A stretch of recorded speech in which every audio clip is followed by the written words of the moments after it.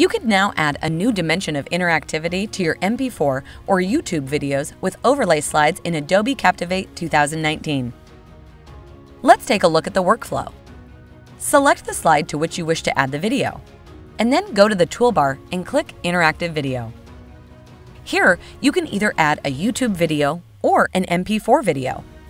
Let's add a YouTube video here by adding the YouTube video link in the URL field and then click OK.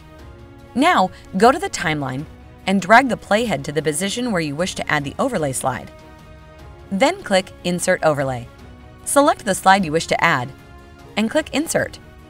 Similarly, you can go to any other position on the timeline and add another overlay slide. If you wish to move the position of the overlay slide, you can simply drag and drop it at any other position on the timeline.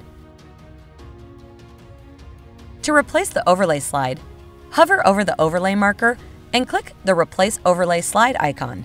This will open the Overlay dialog. Select any other slide and click Insert. Also, if you wish to remove the overlay slide, hover over the overlay marker and then click Unlink Overlay Slide. This will remove the overlay from your video.